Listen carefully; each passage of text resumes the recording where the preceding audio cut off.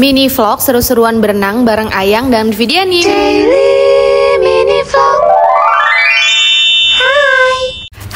guys, Assalamualaikum. Jadi ceritanya hari minggu kemarin tuh aku gabut banget guys. Akhirnya aku minta pas suami buat berenang. Berenang di tempat kemarin loh Di KYZN Yang ada di BSD Padahal di komplek tuh ada kolam renang. Tapi nggak dalam guys. Aku pengennya berenangnya yang kolamnya tuh dalam. Terus juga di sini enak banget vibesnya. Apalagi sekarang cuacanya tuh sejuk-sejuk mendung gitu. Dan ini aku berenangnya tuh sore-sore ya guys. Biar nggak panas kalau siang-siang takutnya gosong. Oke seperti biasa. Sebelum kita mulai berenang kita pemanasan dulu ya guys. Biar berenangnya enak. Gak lupa juga pakai kacamata biar melek di airnya tuh jernih. Plus biar nggak sakit juga matanya. Kenapa kalau pakai kacamata renang mukanya jadi penyon ya? Oke ini aku udah siap mau berenang guys. Kidui lagi beli kacamata berenang lagi di sportation yang ada di sini. Di sini tuh airnya nggak dingin tahu oh iya tadi juga aku ngajakin Vidianim dadakan. Dan ternyata dia bisa dong. Untungnya kita deketan. Jadi kalau gabut bisa barengan. Nah ini Kidui udah nyebur nih. Jangan sampai sama peyutnya Kidu yang gemoy itu ya Aku tuh suka banget sama berenang Tapi ya gitu berenangnya asal ngambang doang asal jalan Pas ngeliat video ini berenang kok dia kayak santai dan relax banget gitu ya Kalau bisa nyelam kayak gitu sih bu, bisa kita semua. Gue nggak bisa dah, ngambang mulu pantat gue. kayak ada balonnya.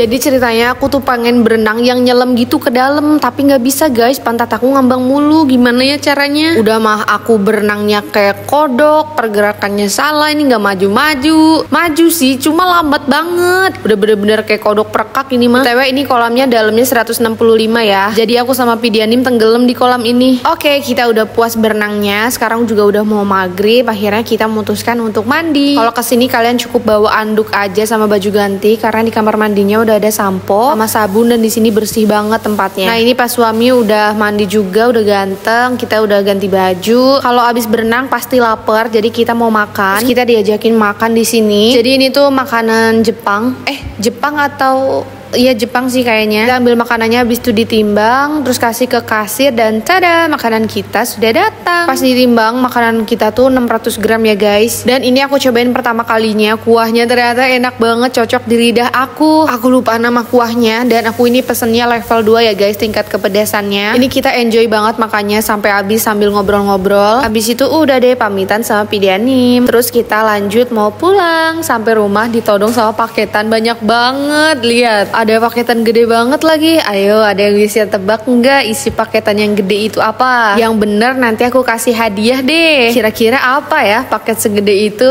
Eh, gak jadi deng, udah ada tulisannya. Oke, segitu dulu ya. Jangan lupa bersyukur dan tetap menjadi pribadi yang sederhana. Bye.